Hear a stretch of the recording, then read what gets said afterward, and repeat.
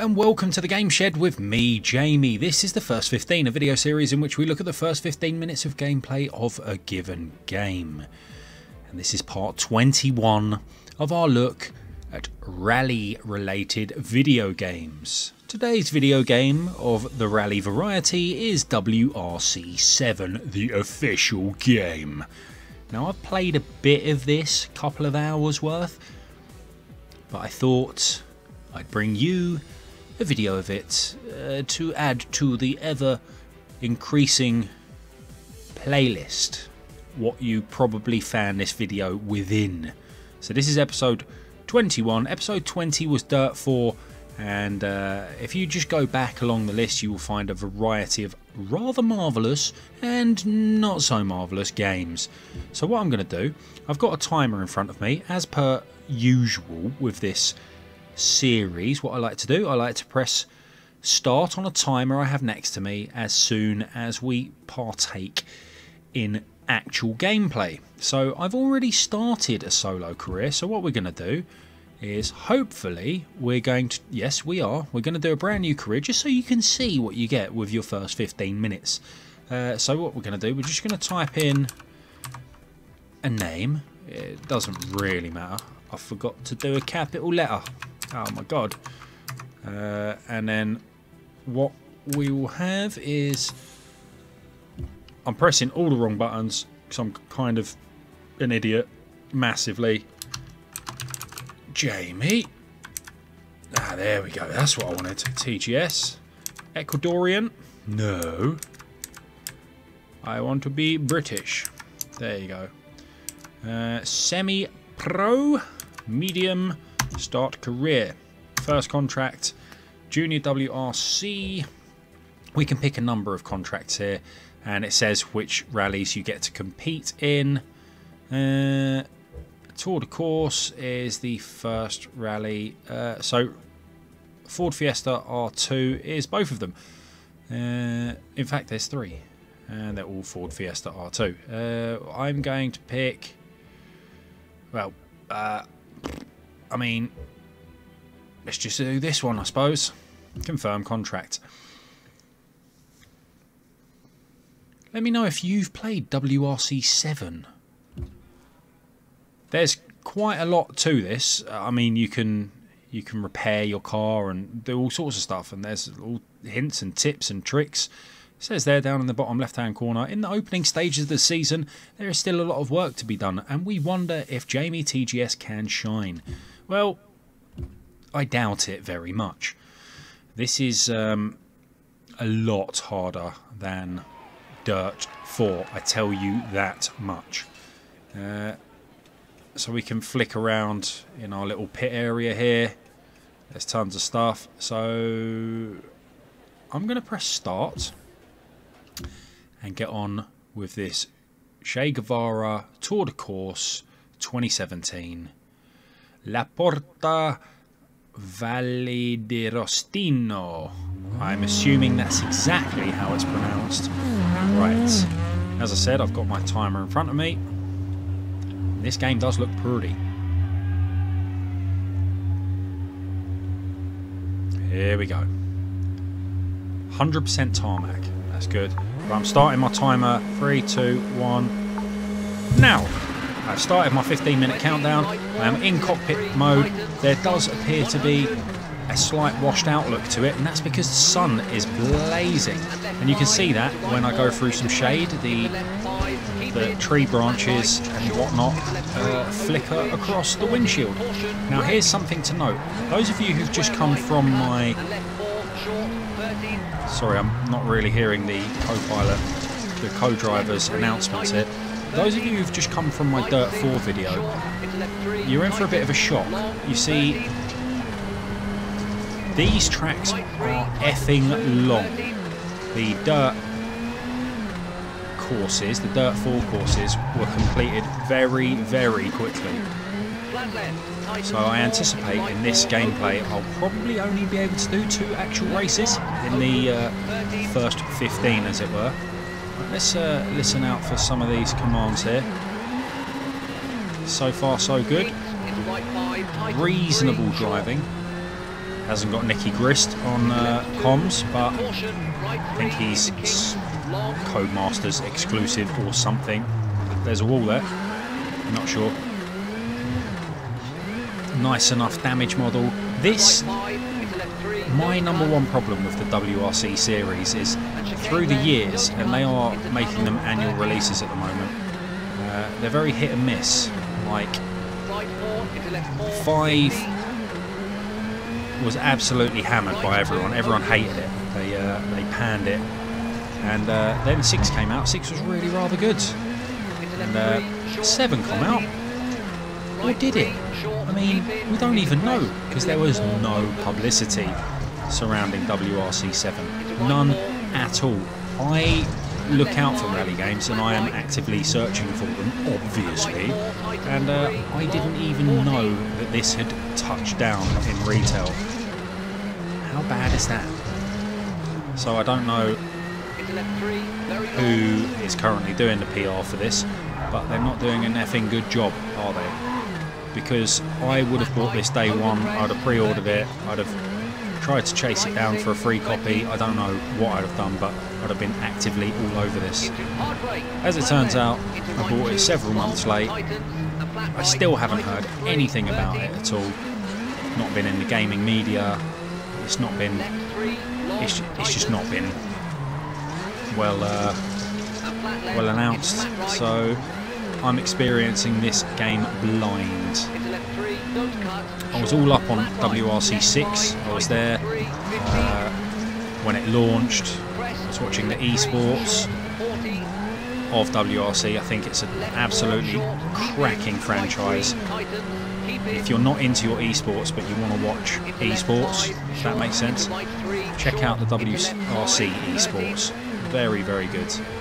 At WRC6, I managed to get myself into the top 10 on time trials for one particular circuit.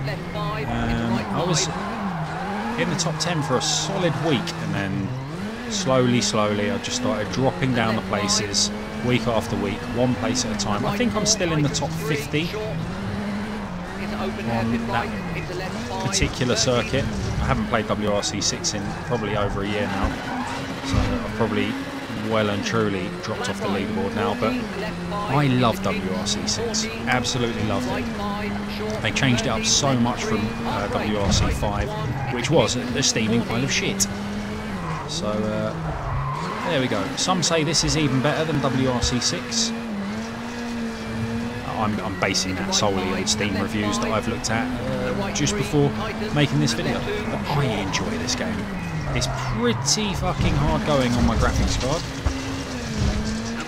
But it really does look the mutt's nuts. I'm playing with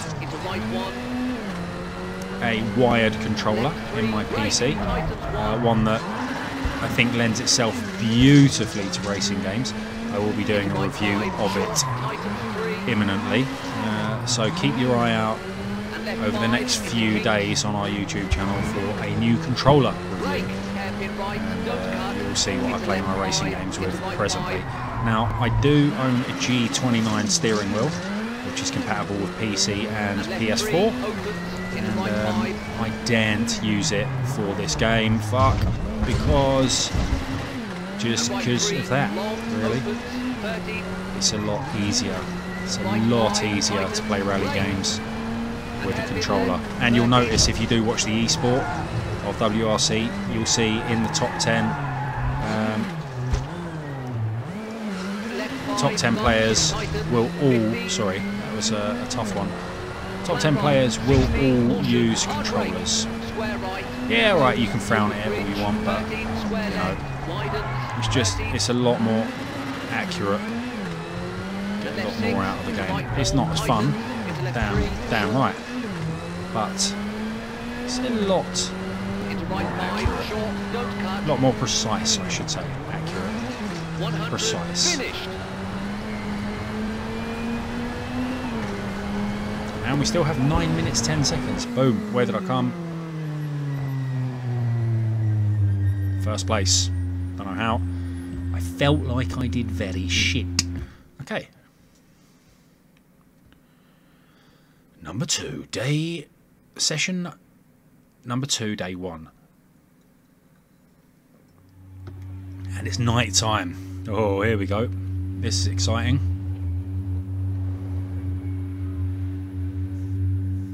Here we go. It's dusk. It's dusk. It's not strictly night time. 20, 6, into left 3, Again- right 5, tightens, Uh, I've chosen cockpit cam, my preferred and left 3, view point. Wow, look how gorgeous this looks. I think this uh, really comes into its own at night time in cockpit mode. You'll see what looks like emergency lights coming on. You'll see an orange flashing, that is the backfiring. Uh, the, the exhaust, there you go, lighting up. Uh, yeah, I, I, I tend to choose cockpit mode just because I find that I'm a better driver in cockpit.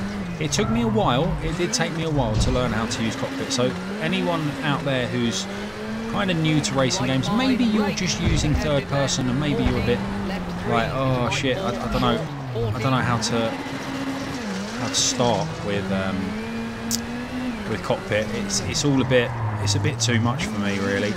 I mean, I felt the same way, and then I got myself F1 2016 when that first came out, and I was determined not to play that game third person. I, I wanted to feel uh, like a driver, so I I installed my G29 steering wheel. I put it in cockpit mode, and I was absolutely dreadful for about three or four days and then suddenly it clicked. And you go back to third person shit you know. You go back to third person and you'll find very quickly that you can't actually use that mode anymore.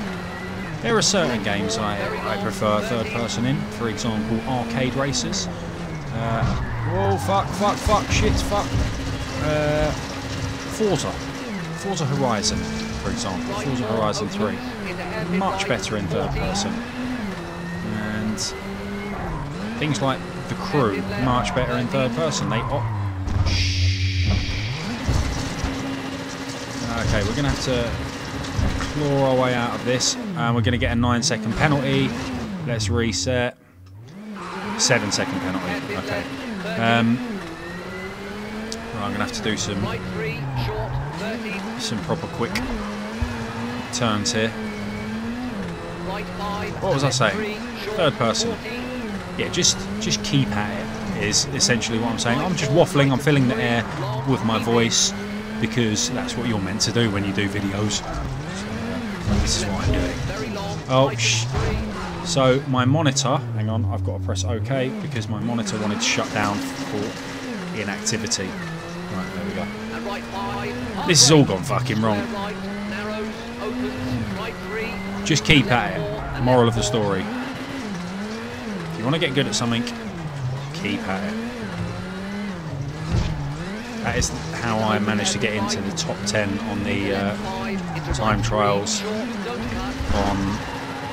It was actually Fafe, which is a Portuguese rally on WRC6. I told myself, I really enjoy this circuit. I want to break the top 10 and I want to stay there for a bit. So um, I played that one circuit for about four days. Uh, I think I, the highest position on the leaderboard I came was second global leaderboard. So it just shows practice makes perfect. At least it makes you a lot better than uh, than shit. Into right four. Short. 100. Here we go. Leave me in the comment section below any uh, of your racing game achievements. In fact, not even your racing games. Just tell me of your video game achievements. Have you uh, topped any global leaderboards? Have you won any local or national or international gaming competitions? Let me know, man. I'd be man or lady. I'd be genuinely intrigued who uh, out there is a uh. NLG full. Pro gamer. I had my theories about Three years ago. I could beat the world record on the Sega Rally Desert Track, Say, original Sega Rally, not Revo or any of the reboots. Uh, on the original Sega Rally, either arcade or preferably Sega Saturn. I honestly think I could get the quickest lap time on Desert Track. Fuck me. Just because I played it so, so much. And I got to within about a tenth of a second, probably, uh, of that world record. And I'd been playing it for about six hours solid. Just that one circuit. And I thought, no, this is, this is silly now. I'd need probably another five hours to work out how to shave off that, uh, that tenth. And I just couldn't do it. So, uh, Oh, fucking hell. So I decided uh, against it. Maybe one day, maybe one day, when there aren't far too many other games that I need to get through. I'll, uh, I'll give it give it a few days just on desert track, and I'll just hammer it. Feel free to uh, tell me your fastest lap times on desert track as well. Can dig out my memory cards my, my, local save file, whatever it is. I can't even remember, it's been so long. And uh, you can compare lap times. I think the timer is going to go off any second now. I just, I have this bad feeling. Don't hit the crowd.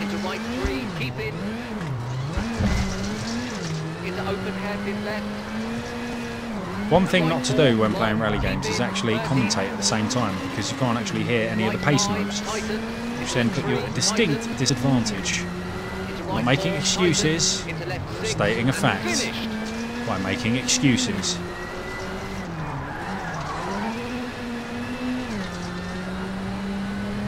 Whoosh, straight through. We've actually got one and a half minutes remaining. So that was a jolly good timing. There you go, sixth place. I gave up seven seconds falling off the uh, off the side there, plus about another five or six seconds being stuck on the side of the bloody cliff. So uh, let's have a look at a replay. And let's hide the interface just to see what the how the uh, replay cam looks in WRC7. Let me know if you pick this up. Does this look like your cup of char? Did you play WRC 6, 5, 4, 3, 2? Any of the earlier iterations, maybe you had it on the PlayStation 2. Maybe you had one of the uh, more obscure WRC titles like Power Slides. Um, I don't know. I don't know what you had. I, I, I don't know. I'm not psychic. But yeah, this, I think I picked it up fairly cheap, although it has retained its value, as has WRC 6. But if you can pick up a cheap copy of either 6 or 5, do so. Uh, not 5, sorry, 6 or 7. I believe 6 has the have Chinese rally in it? And uh, I don't think that ever went ahead. So uh, I think that's a, a thing. I, I, might have made it up. I don't know. Look how gorgeous this looks. This is definitely the prettiest. Oh, there goes my uh, my lights. Absolutely stunning. So that is episode 21 of my look at rally games the first 15 minutes. If there's any rally games that aren't on this playlist that you would like me to play, please do leave them in the comment section below. I want to hear what I'm not playing, what I'm missing out on. Need your opinions. I've got tons more rally games lined up. Crunch. There you go. And that lovely noise is our 15 minute timer. So I've been Jamie. This has been WRC7. Remember, if you want to, hey, if you want to see us playing, or me particularly playing racing games live, do drop us a follow on Twitch. Our address is TGSHD every single Sunday. Jeez, man, vertigo. Every single Sunday, we play racing games. That doesn't mean we won't be playing racing games at other times during the week, but Sunday is dedicated to a racing game or two. So thanks for watching everyone. And until the next time, keep safe on the roads. And try not to drive like a maniac. Thanks. Bye bye.